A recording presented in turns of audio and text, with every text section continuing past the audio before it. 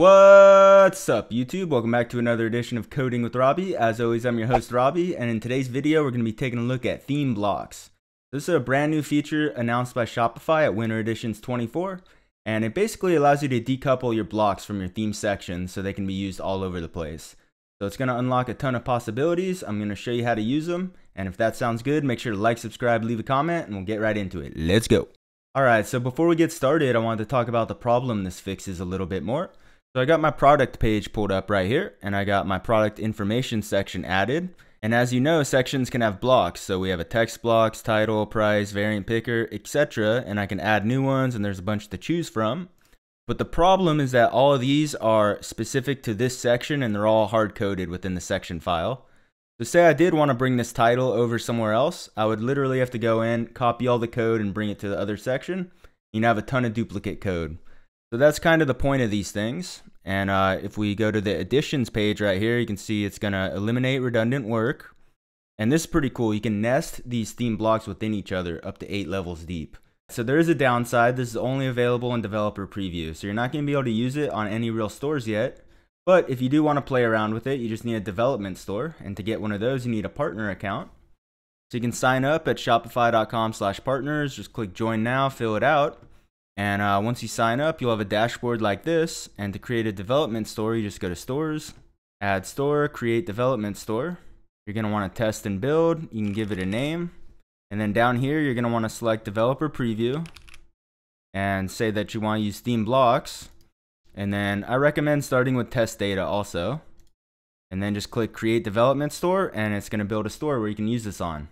Alright, we are now ready to add our first theme block. So I got my store pulled up right here. I'm using Dawn. And I got the documentation for theme blocks pulled up over here. So if we scroll down in the docs, down here you can see that our theme is now going to have a new blocks folder. And this is going to house all our theme blocks. And if we scroll down a little bit further, they give us some example code for a block. Let's copy this code. And then let's go to our theme. We'll go to edit code. We're going to find that new blocks folder. It's right here. I'll open it up. I'll go add new block. I'll call it test. I'll hit done. It's going to create the file. And I'll replace all the contents with that code we copied. So up top here, you can see we have a paragraph tag and we're rendering the text setting within there. So to access your block settings, it's going to be block.settings.id.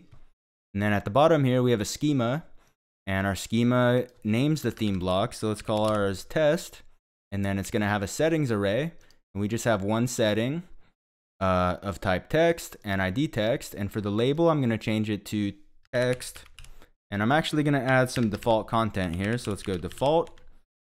And for default, we'll just put some text. And then we're also going to have to add presets to this so we can render it within customized theme. So let's go down here. We'll add presets. It's going to be an array that has an object with name and we'll name it test also.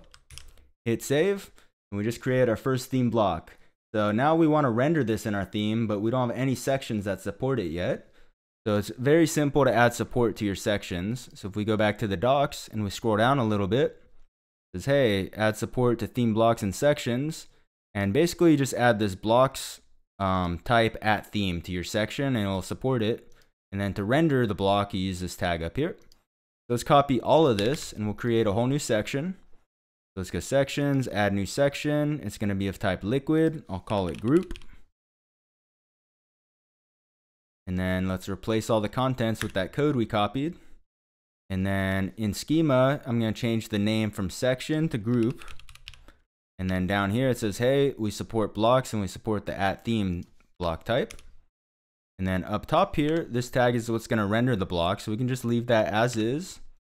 Hit save. And uh, actually, we forgot to add presets. So let's go down here, presets. It's going to be an array with an object that has a name of group. There we go. Save one more time. And now we're ready to render this in our theme. So let's exit the code editor. We'll go to customize theme. And now we're going to add that group section we just created. So let's go to add section. And here's a bug Shopify. If you search for it, it's not going to find it. But if you look in the list and you scroll down, you can see it right here. So let's add that. And then within here, we can add blocks and we're going to have our theme blocks to select from. So let's add that test block we created. And then it's going to have some text by default and we can see it rendering down here. And we can hit save and we just rendered our first theme block on our page. So another great feature with these things is that you can nest them within each other. So let's add support for that. So back in the documentation, we can scroll down a little bit and says, hey, you want to do nesting? Here's how you do it.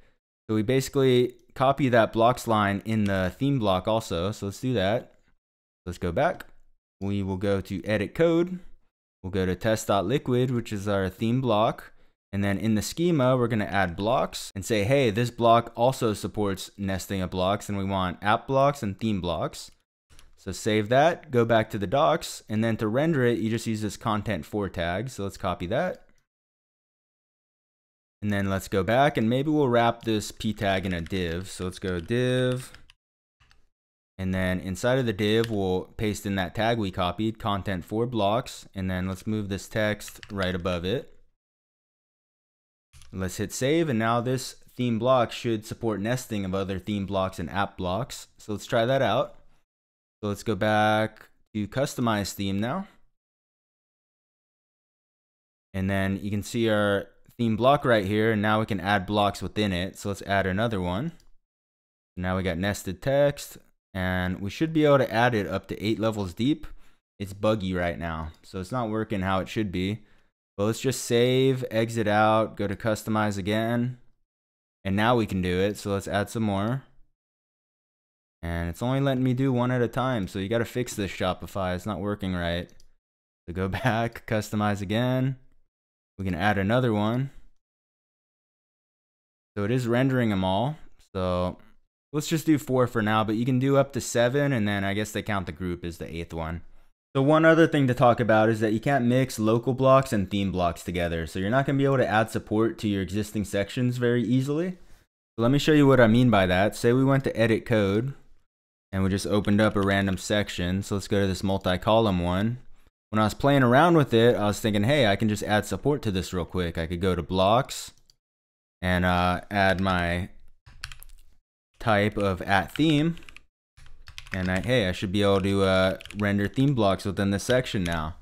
But it goes, hey, you can't use um, local blocks and theme blocks together. So local block is the one that's kind of hard coded in the section and specific to that section. So to add support for theme blocks in here, I would have to move this block out to a global block. So that's one thing to note. And uh, one other thing to note is that the schema does have a couple other fields you can add. So if we went to block schema, you can add a tag, which just changes the tag that wraps the section. So by default, it'll be a div. You could change it to header or aside or whatever you wanted. And you can add a class to that parent div that wraps the section. And that's pretty much it. So that's theme blocks. Hopefully they release this pretty soon. Uh, Shopify, you got some bugs to fix. And uh, yeah, if you enjoyed this video, make sure to like, subscribe, leave a comment, and I'll catch you in the next one. Bye.